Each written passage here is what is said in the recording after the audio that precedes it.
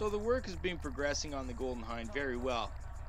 Maintenance on the boat included new rigging, new sails, and a brand new diesel engine. The list just keeps going on and on and on. I felt it was time to take her out and test her a little bit more than what we have here in our local calm waters. I decided, kinda last minute, to take the opportunity to chase the Van Isle 360 fleet as they circumnavigate Vancouver Island in British Columbia, Canada. This will give me a good run of just over 500 nautical miles with an amazing offshore section from the north tip of the island at Cape Scott to the Juan de Fuca Strait, my stomping grounds. I fit the wind vane steering system, gut out all the construction material from the refit and everything I didn't need, provisioned the boat with food and gear, and set out on June 5th in the morning for my first leg to Nanaimo to pick up my crew.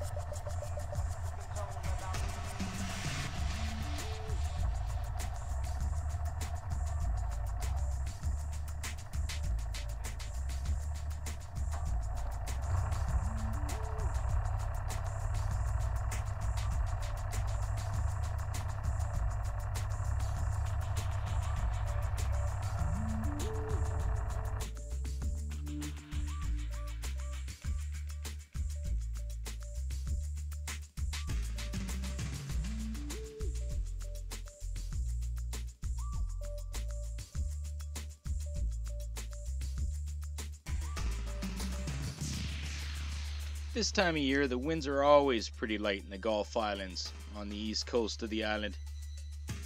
Pretty smooth typically. The only thing you need to really be concerned with are the tides, with all the passages that need to be navigated. Another thing too around this area, if you're going to be cruising at night, is the amount of wood debris in the water and the traffic in the area. But really, why would you be cruising at night in this area? There's so many gunk holes. It really is a cruiser's paradise.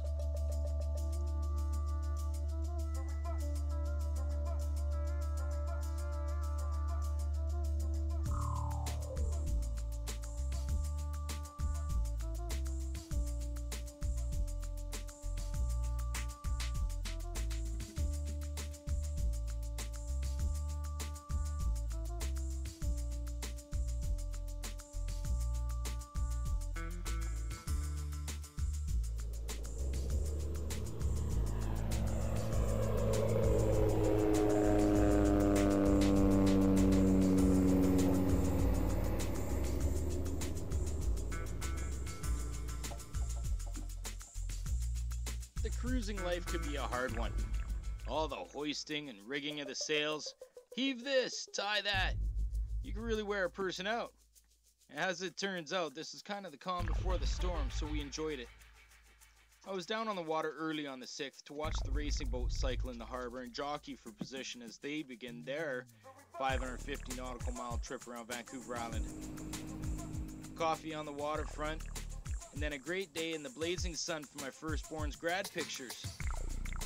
That evening of the 6th, we set sail around 6.40 for Lasqueti Island, where we make our anchor just after midnight in Falls Harbor, and then a quick jump over to Comox on the 7th to catch up to the fleet.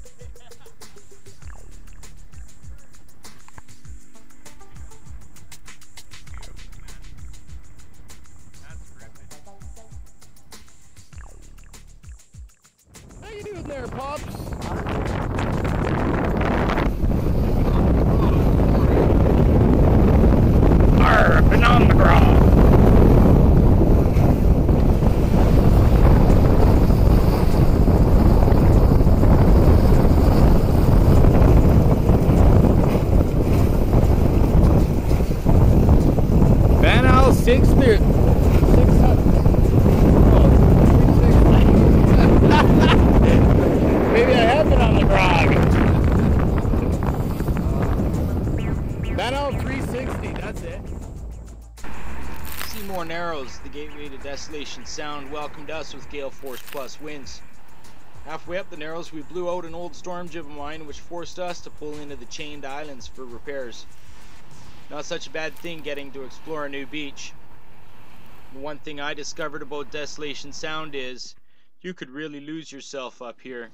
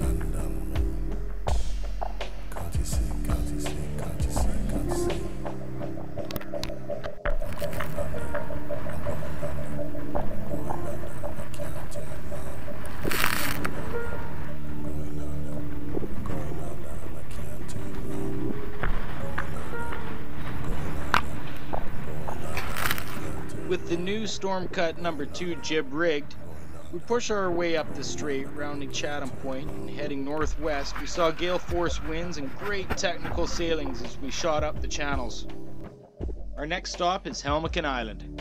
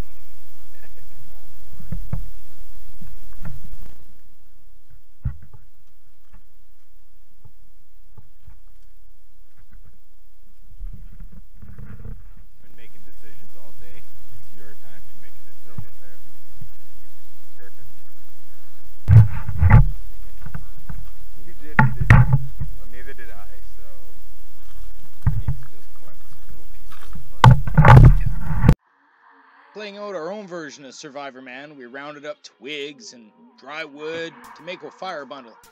Then grabbed my lighter and a few pieces of styrofoam we found washed up on the beach, and boom! Conquered fire, West Coast way.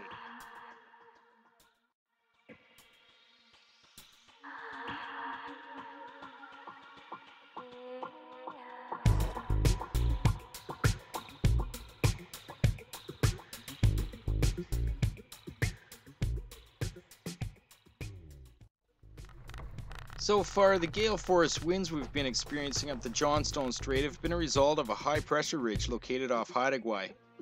Marine forecasts from the Coast Guard indicate that this ridge is now diminishing, but it's going to bring storm force winds for the next two days, in excess of 45 knots. We toyed with the idea of leaving Helmcken Island and heading up and gunkholing in Port Neville, but we decided that we are going to make the run to Telegraph Cove and wait out the storm there. This was a great idea. We spent the day weathering a storm in this tight little anchorage, feasted on bison burgers, crew caught up on much needed sleep. We had a shower which felt amazing and did up all the laundry. This gave us a chance also to air out the boat and straighten it back up to the point of which one we left. Telegraph Cove is an interesting place. Back in the day, it was the site of a small fish cannery due to its location on the Queen Charlotte Strait.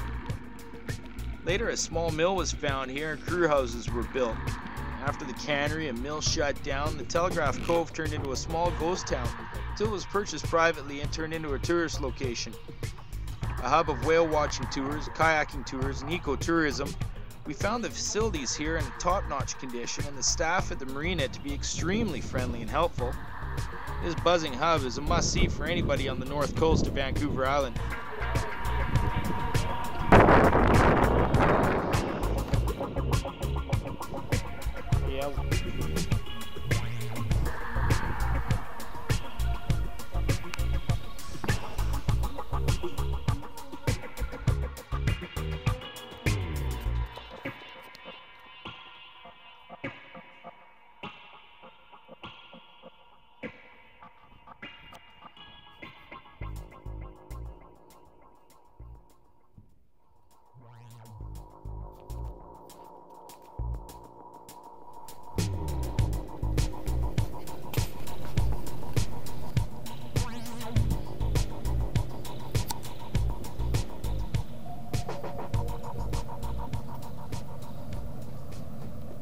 Definitely one of the highlights to my visit at Telegraph Cove was a whale research station.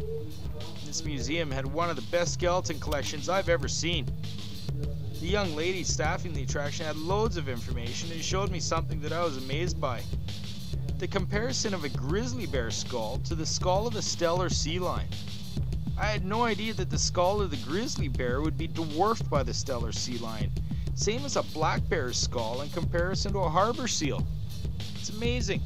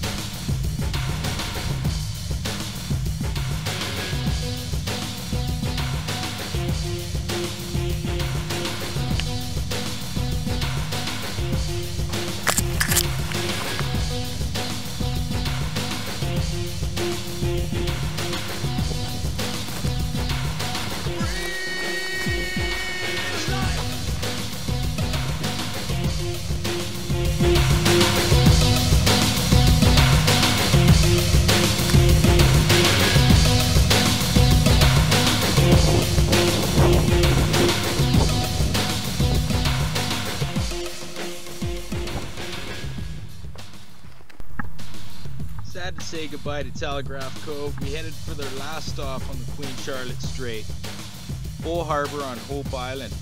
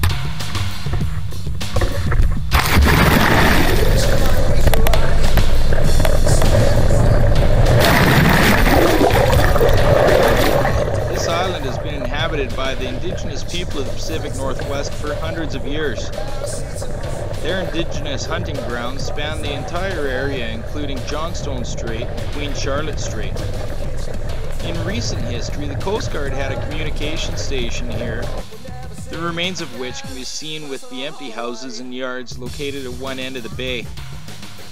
The docking facilities here are great, and you could weather any west coast storm here which frequent this area with up to 30 foot waves smashing against the rocks and storm force winds. If you were in here, you would be safe and sound.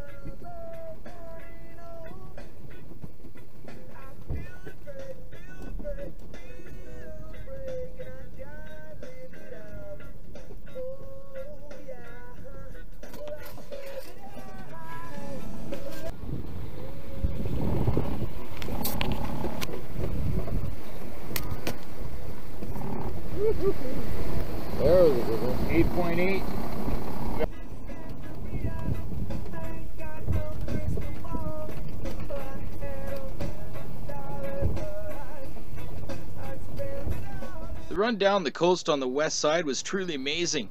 With the broad reach clocking round a dead downwind, we saw 20 knot winds, 3 to 6 foot following seas, and nothing but blue skies.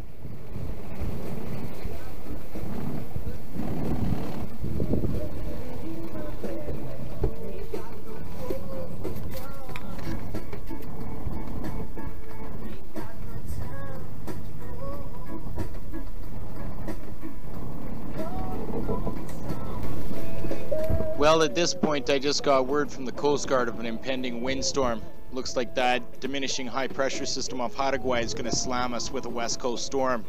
So I'm cutting west and making more sea room around Brooks Peninsula. It's going to be a rough night.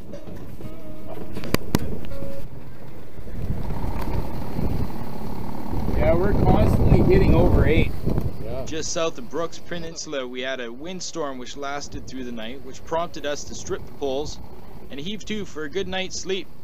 Drift rate pushed us straight down towards Hot Springs Cove, our next destination.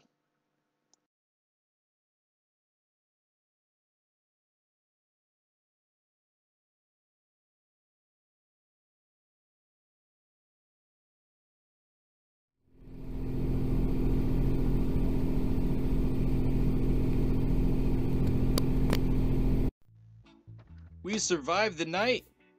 We hove to for the night in 45 to 50 knot wind with seas 14 to 16 foot.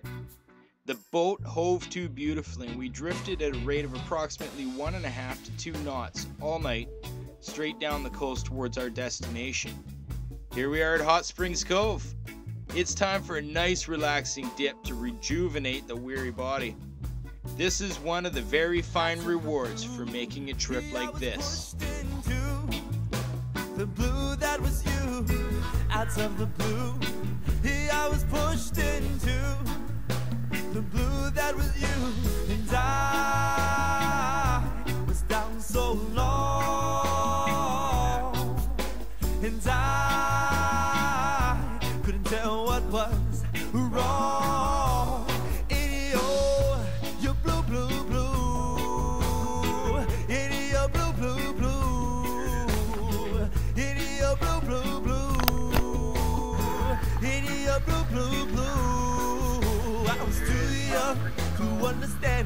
what. I was too young to understand pain. I was too young to understand someone. I was too young to understand I was safe. And I was down so long.